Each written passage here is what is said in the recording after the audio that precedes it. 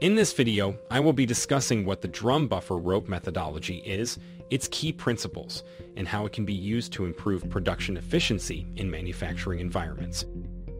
The drum buffer rope methodology is a production control system that aims to optimize the flow of materials and information throughout a manufacturing facility. It is based on the principles of the theory of constraints, which states that the overall performance of a system is limited by its weakest link, or constraint. The key principle of the drum buffer rope methodology is to identify and manage the constraint, or drum, of the production process.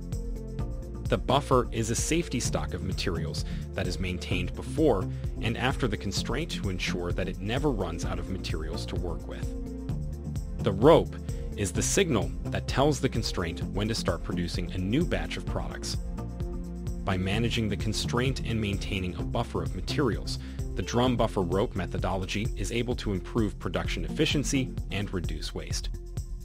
This is because it ensures that the constraint is always working at full capacity and that materials are not wasted on operations that are not critical to the production process.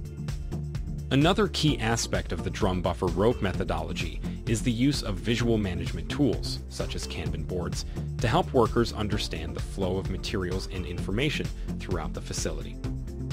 This helps to improve communication and collaboration among workers, which is essential for achieving optimal production efficiency. In conclusion, the drum buffer rope methodology is a powerful production control system that is based on the principles of the theory of constraints by identifying and managing the constraint of the production process, maintaining a buffer of materials, and using visual management tools, is able to improve production efficiency and reduce waste.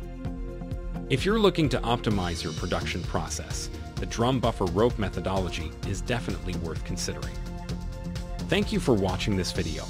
You can find more resources on the subject in the description.